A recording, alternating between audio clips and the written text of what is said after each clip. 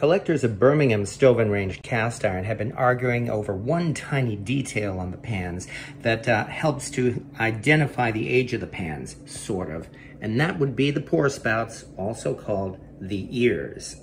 We've learned that pans from the early days of BS&R, when they had their hand-scribed markings on them, tended to have much larger ears. But when they standardized the design of their pans and gave it a more modern look, the ears actually became somewhat smaller.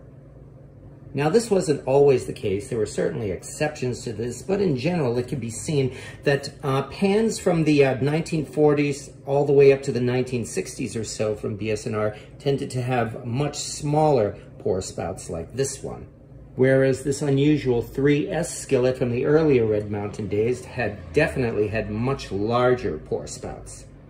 The problem is that no evidence has really been found to determine if the difference in the ears actually coincided with the relabeling of the entire BS&R pan from Red Mountain to Century Cookware. So while this number 8 size pan could have been produced anywhere from the 1940s all the way up to the 1960s, we can't tell if this actually had a label on it that said Red Mountain or Century Cookware.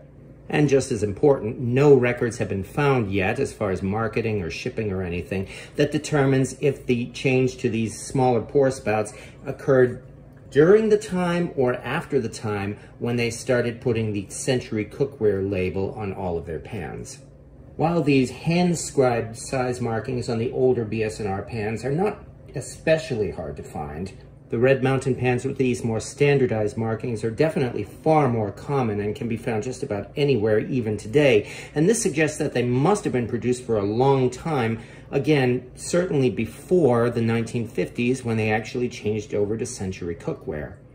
And so while this number 8 pan may very well have had a Century Cookware label on it, we can't be absolutely sure. And there is still a chance, however small, that this may indeed have had a label on it that said Red Mountain.